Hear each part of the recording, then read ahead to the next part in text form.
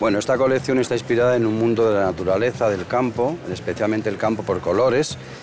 y hemos hecho cosas muy diferentes a cada año, al año anterior. Entonces hemos hecho unas parcas que de repente tú tienes tu piel de zorro, que te conviertes en chaleco o bien en fondo y luego con una falda que acompañamos. Y bueno, verdaderamente yo creo que este look es bastante bonito, muy campo, que te traslada completamente lo que queremos un poco en guiño es a la parte inglesa, un poco ahí.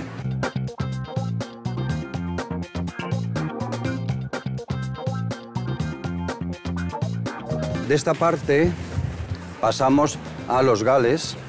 que hemos hecho esto, un print gales, que es un mutón, pero muy ligero, súper ligero, que hemos conseguido con los curtidos, y con un print de gales, y el fondo es en azul noche, que es un poco referencia de la colección, que los maquillajes van ahí los ojos pintados en azul también.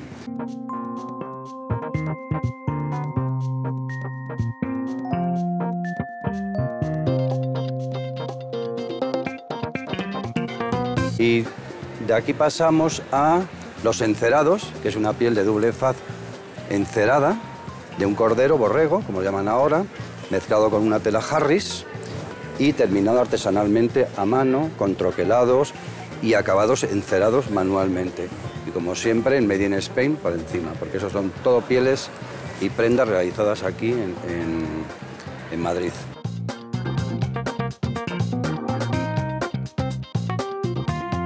Y terminamos la noche con unos, unas prendas de cabalino, que el cabalino es una piel de cabrito que la hemos rasado y la hemos hecho en azul noche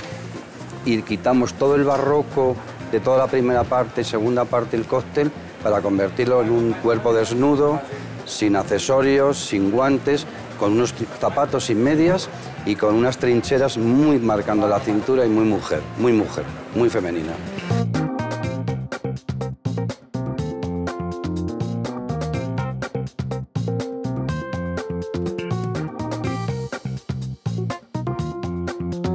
Bueno, yo este año, como se supone que vamos a salir de la crisis de aquí al próximo, este invierno, pues entonces yo he sido muy positivo. La crisis la tenemos todos, es un horror, pero yo creo que los diseñadores tenemos la obligación de hacer soñar. Y yo esta pasarela me he propuesto que la gente sueñe.